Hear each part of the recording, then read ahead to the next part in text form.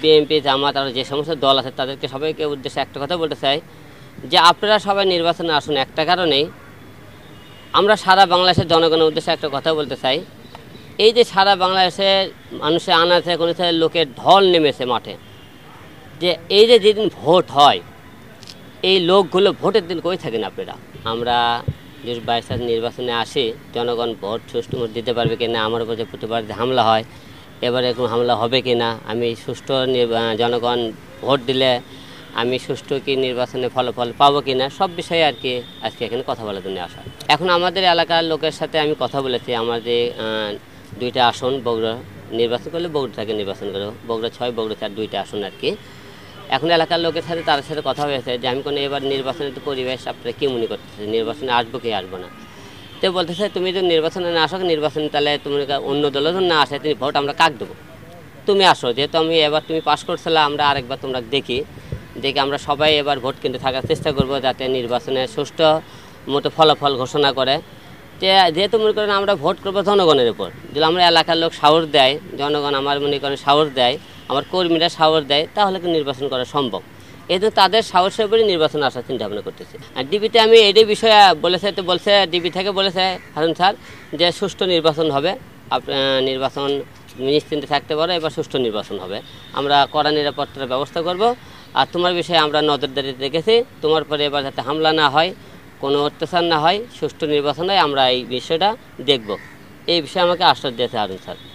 আর আপনি সবাইকে একটা কথা বলতে চাই যে আমি একটা কথা বলতে চাই যে আমরা সারা বাংলাদেশে আমি আপনাদের বিএনপি জামাত আর যে সমস্ত দল আছে তাদেরকে সবাইকে উদ্দেশ্যে একটা কথা বলতে চাই যে আপনারা সবাই নির্বাচনে আসুন একটা কারণেই আমরা সারা বাংলাদেশের জনগণের উদ্দেশ্যে একটা কথা বলতে চাই।